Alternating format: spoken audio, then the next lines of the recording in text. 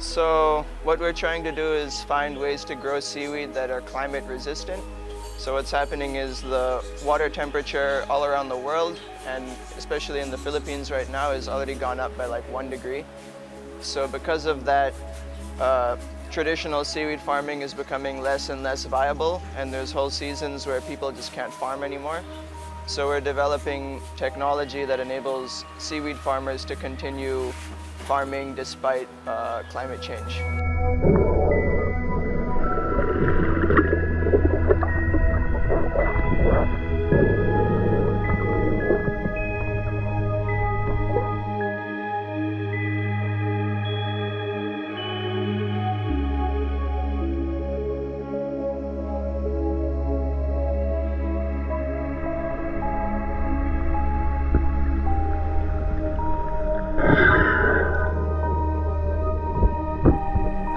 Seaweed um, doesn't need the sunlight for 12 hours a day, so why don't we try and lower the seaweed into that nutrient zone?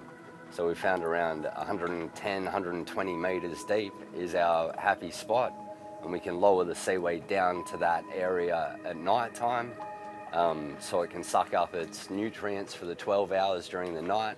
And then in the morning, we bring it back up to the surface so it can get its photosynthesis and grow with the sun.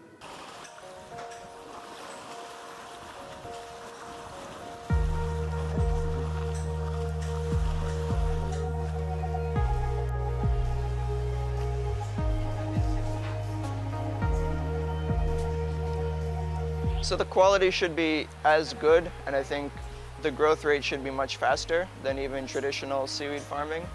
And the big advantage is just the stability, so they'd be able to grow 12 months out of the year instead of uh, relying on those like dwindling good growth seasons. In theory, it should be something that we can roll out in across Southeast Asia and across the world as well.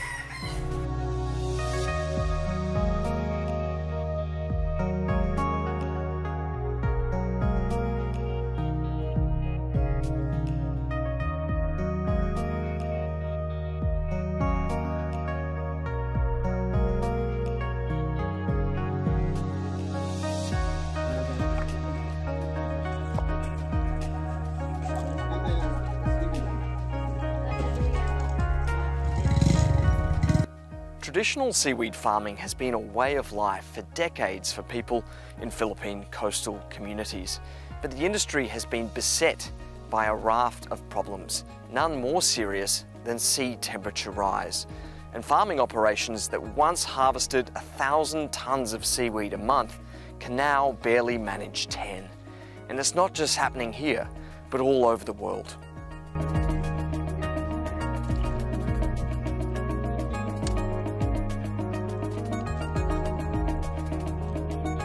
May epekto na epekto kana uwan ug init mo init siya kanang init kayo init man ang dagat so api mapiktuhan ang gusto ma, masakit ana like uh, ice ice. Hindi ako na wala ng pag-asa kasi ito ang hanap buhay namin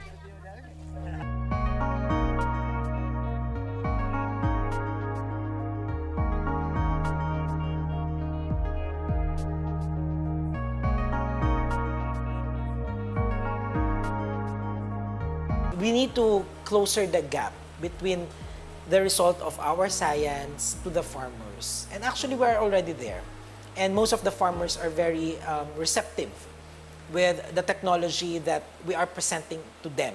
Because first and foremost, that's their livelihood. And if, um, if and if that um, that technology could able to give them higher production, higher biomass, they will uh, accept it.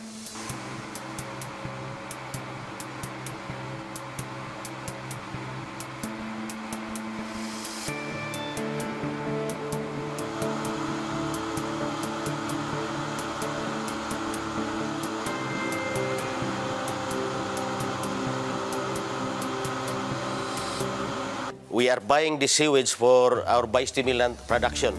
So we have now an extraction machine here, the hammer mill. Then after we extracting the juice, we will ship out to Cebu for bottling. So the product that we have called Bigro, um, we are disseminating it or introducing it to rice farmers. So the only way uh, that is the only way that they can uh, increase the income because the cost the farming cost will be reduced uh, compared to using uh, chemical fertilizer.